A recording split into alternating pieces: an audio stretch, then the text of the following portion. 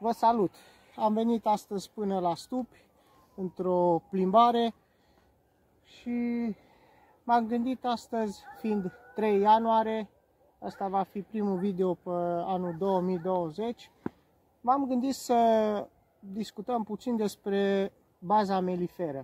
Nu cred că am abordat această, acest subiect anul ăsta, adică anul ăsta deloc, și vreau să vă spun că aici la mine în zonă stupii sunt situați chiar la polele pădurii.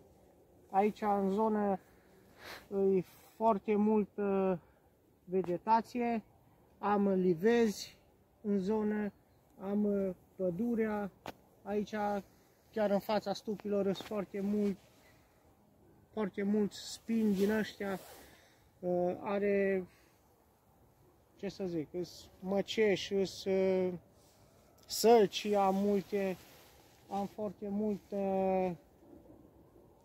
vegetație, în special o vegetație care e foarte bună pentru, pentru stupărit. Bine, acum zona am ales-o, n-am ales-o. Aici am reușit de mi-am pus stupii. De multe ori nu ne putem stup, pune stupii unde am vrea de multe ori unde se poate. Uh, pot să zic că e o zonă foarte bună de primăvară.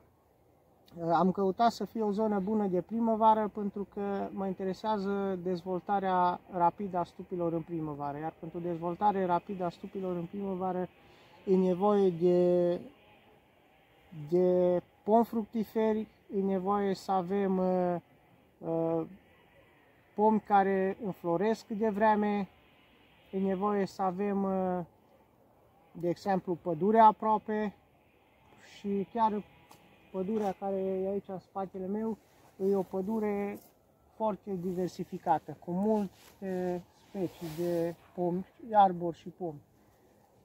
Am, uh, începând de primăvara, foarte multă salce căprească, loză, cum îi zicem noi aici în zonă acele mățișoare galbene. Poate în alte zone au alte denumiri. Am uh, foarte mult alun în zonă.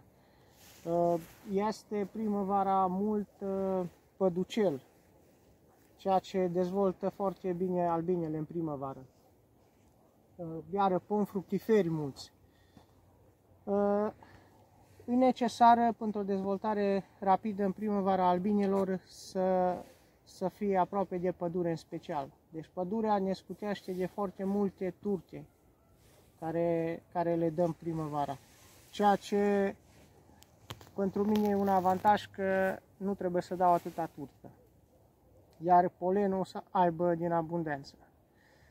Ă, ce să vă spun, în urmă cu 22 de ani, când am început eu apicultura, N-am știut lucrurile astea, am avut uh, parte însă de o stupină foarte bună atâta timp cât a fost lângă pădure. O dezvoltare foarte rapidă a stupilor.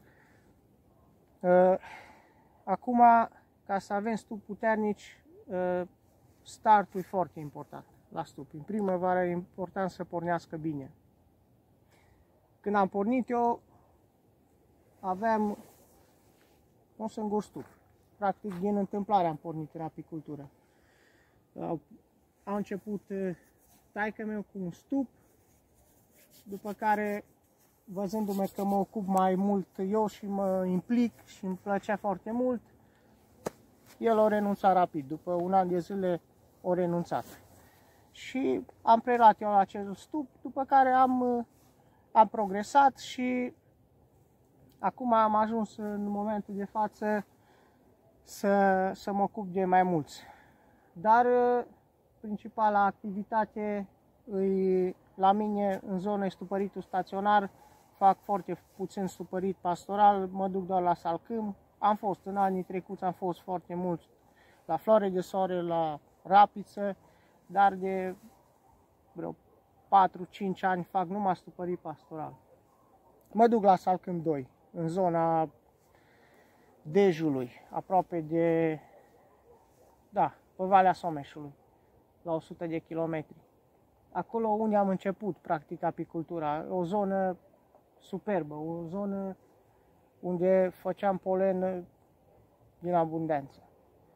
Acum, ă, aici la mine e o zonă bună până în perioada salcâmului și după salcâm e o zonă lipsită de, de cules.